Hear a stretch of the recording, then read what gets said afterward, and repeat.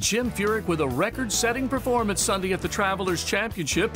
His tee time nearly six hours earlier than the leaders were going off, but he had a record in his sights. Makes the turn with four straight birdies, holes six through nine. Here he is at 10, setting up another look. He would make that from 14 feet away to get to eight under par. Now at the tee at 11. Furyk already one of six players in PGA Tour history to shoot a 59. That was three years ago at the BMW Championship. At the 11th, he would hold that from 16 feet away to get to 9 under par. And the 46 year old said if he hadn't shot that 59 three years ago, he wouldn't have been thinking about 58. He was on his way, seven straight birdies as he made the turn. Holes 6 through 12, he was on fire. Furyk just left of the flag here, and he would make that from four feet away to get to 10 under par. Now a huge putt at 16 from 24 feet.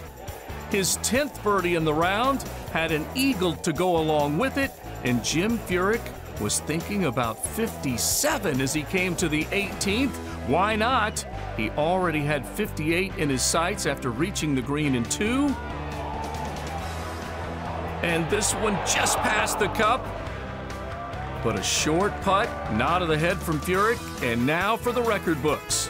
Jim Furyk, the first ever in PGA Tour history to card a 58, and he did it at TPC River Highlands.